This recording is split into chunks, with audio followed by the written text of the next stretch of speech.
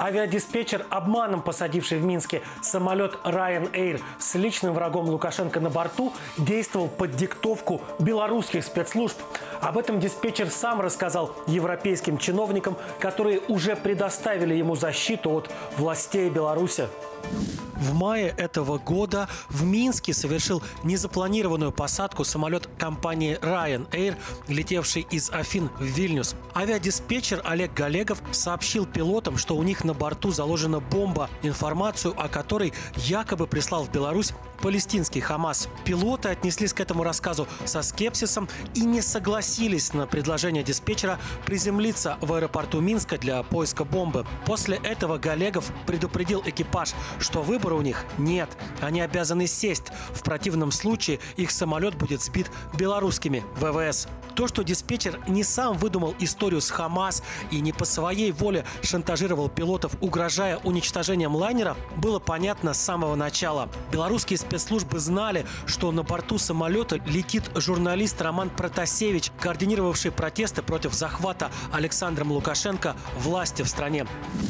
Пиратский захват самолета производился с единственной целью – поймать давно уже оставившего Беларусь Протасевича и показательно его покарать за непокорность. Сейчас же стало известно, что и диспетчер был своего рода заложником спецслужб. Как выяснилось, в диспетчерской во время принудительной посадки самолета с Протасевичем находился сотрудник белорусского КГБ. И это он рассказывал о бомбе, требовал срочного приземления и угрожал поднять в воздух истребителя. Галегов лишь пересказывал его слова пилотам, то есть сотрудник главной государственной спецслужбы проникает на рабочее место авиадиспетчера, вмешивается в его деятельность, что уже само по себе довольно серьезное преступление, ведь от диспетчера буквально зависят жизни людей. Да еще этот сотрудник вынуждает Галегова врать пилотам о бомбе. Причем это не какой-то спятивший спецслужбист, который самовольно пошел на очевидное преступление. Нет, сам самое ужасное заключается в том, что это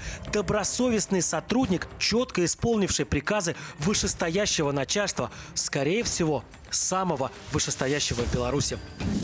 Диспетчер Галегов вскоре после захвата Романа Протасевича пропал, взял отпуск и исчез. Даже близкие друзья не знали, где он. Думал, что поехал к родственникам в Грузию. Но это оказалось не так. Олег Галегов минувшим летом перешел польскую границу вместе с одной из первых волн мигрантов, завезенных Лукашенко в Беларусь с целью шантажа европейцев. Это довольно рискованный поступок. Попадись Галегов при попытке незаконного пересечения границы белорусским КГБшникам, и ему ему пришлось бы очень несладко. Но он не попался и, оказавшись в Польше, сам отправился к местным спецслужбам, которым рассказал свою историю и известные ему подробности захвата самолета. Не только рассказал, но еще и передал запись разговоров с экипажем самолета, на которой отчетливо слышен голос КГБшника, отдающего вполне конкретные распоряжения принципе, одного лишь акта воздушного пиратства было бы достаточно для того, чтобы влепить против Лукашенко санкции, сродни тем, что были введены против так любимого им Саддама Хусейна. Но для белорусского узурпатора это лишь один эпизод из почти бесконечного перечня совершенных им преступлений. По приказу этого человека устраивались и устраиваются до сих пор внесудебные расправы над неугодными.